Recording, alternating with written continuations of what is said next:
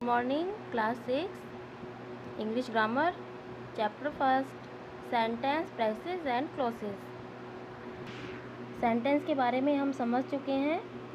A group of word that makes complete sense is called a sentence and next topic is subject and predicate what is subject subject is usually first part of the sentence that tells us about the person or thing, about which the sentence is.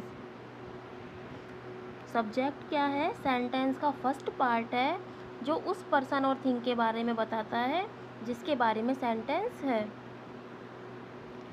Predicate is the part of the sentence that talk about the subject it include the verb and the object predicate वो part है जो sentence के बारे में, जो subject के बारे में बताता है। और इसमें वर्ब एंड ऑब्जेक्ट इंक्लूड होते हैं। For example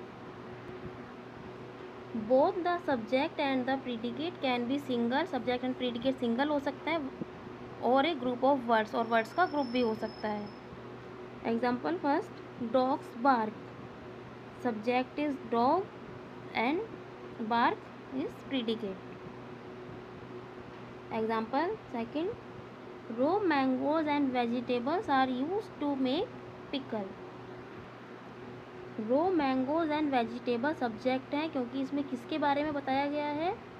row mangoes and vegetables के बारे में। और इसके बारे में क्या बताया गया है? Are use to make pickle ये पिकल बनाने में यूज़ होते हैं तो ये प्रीडिकेट है। एग्ज़ाम्पल नेक्स्ट जैसी my best friend sat on the stage with the guest तो इसमें सब्जेक्ट क्या है? जस्सी। जस्सी कौन है?